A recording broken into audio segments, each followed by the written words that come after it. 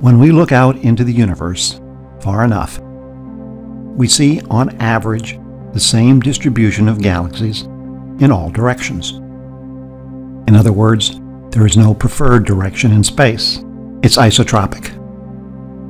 But being isotropic for us doesn't necessarily mean it is isotropic for viewers in far off locations.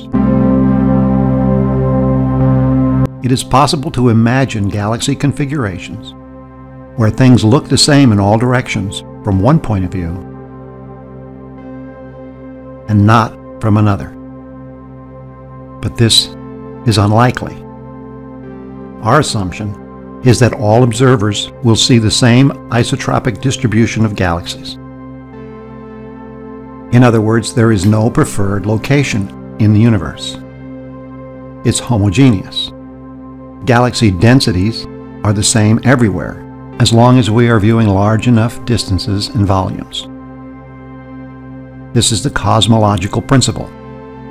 It simply states that the universe is both isotropic with no preferred direction and homogeneous with no preferred place. All directions are equal and all places are equal as far as the laws of physics are concerned. But we know that galaxies clump up into galaxy clusters, and that these galaxy clusters clump up into superclusters. So to get to this cosmological principle, we need to be talking about distances of many billions of light years.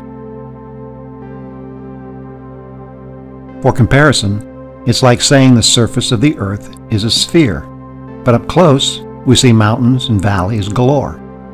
It isn't clear that we have a sphere until we get far enough away for the nearby structures to average out. We have to go out 45,000 kilometers to actually see the sphere.